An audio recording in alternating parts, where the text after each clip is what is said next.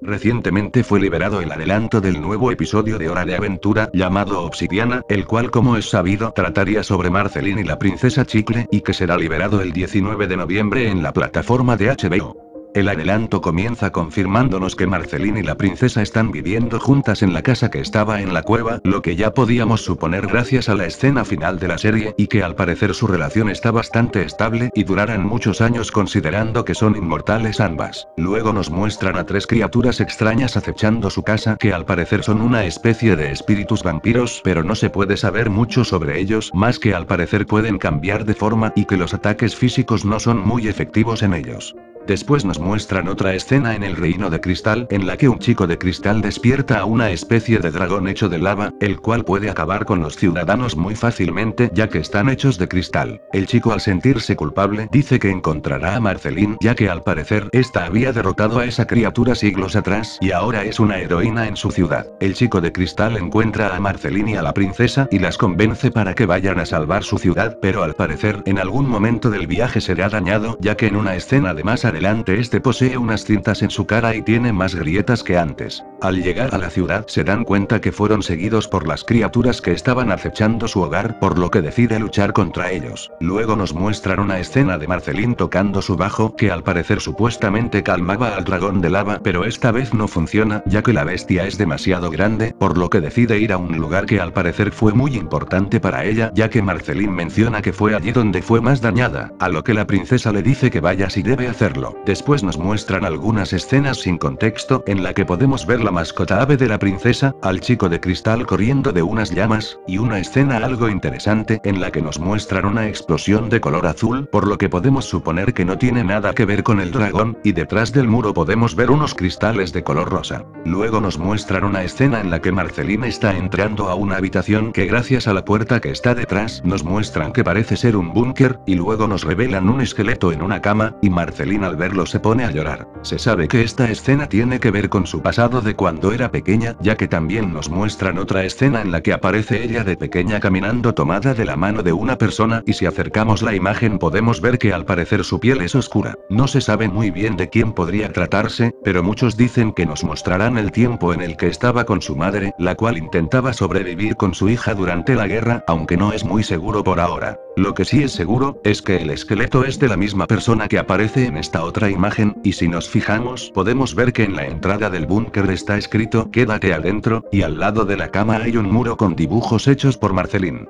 No se sabe muy bien cómo pudo haber muerto, y es que podría ser que Marcelín tuvo que abandonar a esa persona para no dañarla, ya que también tenemos otra imagen del episodio en la que podemos ver a Marcelín de pequeña, pero esta pareciera estar teniendo un ataque de ira, y además tenemos la canción que nos menciona que Marcelín se sentía como un monstruo incluso antes de convertirse en vampiro. Pero también podría haber otra posibilidad, y es que esa persona pudo haber muerto por culpa de las bombas que estaban tirando durante la guerra, y ya que Marcelín es mitad demonio, pudo haber sobrevivido fácilmente, pero por desgracia esa persona no, dejándola completamente sola. Todavía no es muy seguro lo que sucedió con esta persona, pero lo más posible es que haya estado con ella antes de haber conocido al rey helado. También se sabe que al parecer conoceremos la razón por la que Marceline y la princesa se separaron y dejaron de ser amigas, ya que en la descripción del episodio nos mencionan que nos mostrarán el pasado de ambas, lo que será bastante genial de ver, ya que en la serie no nos dieron muchos detalles de cómo es que llegaron a separarse. Y como podemos al parecer este episodio nos mostrará muchas cosas y vendrán algunas escenas muy emotivas, por lo que tendremos que estar preparados para verlo el próximo 19 de noviembre.